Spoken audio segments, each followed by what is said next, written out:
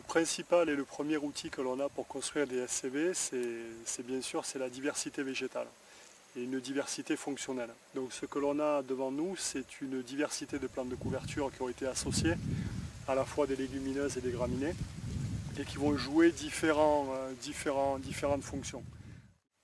Donc ce que l'on cherche avec, euh, avec cette diversité de plantes de couverture, c'est avant tout à protéger nos sols, à produire une forte biomasse qui soit à la fois qui soit en quantité mais également en qualité.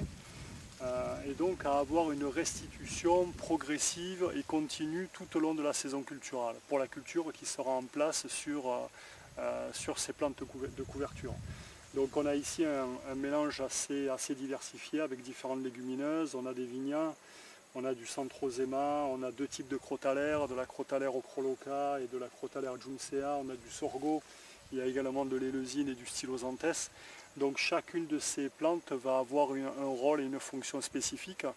Euh, il faut garder à l'esprit qu'on a à la fois une diversité euh, dans la biomasse aérienne, mais également une très grosse diversité dans les systèmes racinaires euh, que l'on est en train d'associer, avec des systèmes pivotants, des systèmes fasciculés,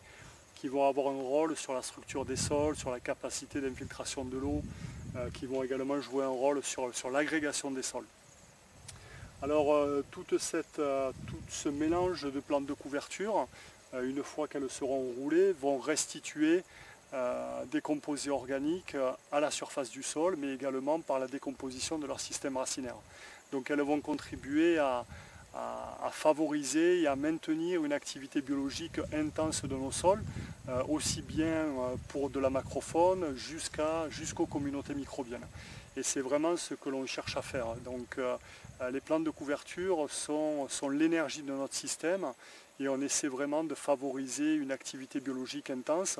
qui va être euh, impliquée dans différents processus biologiques qui vont de, l'amélioration de la structure des sols, euh, du recyclage des éléments nutritifs, de contrôle de certaines maladies, euh, par exemple.